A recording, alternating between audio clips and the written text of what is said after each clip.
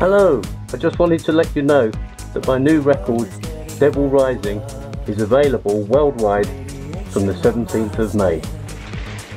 Until then, stay safe.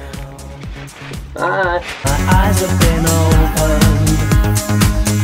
You're the devil.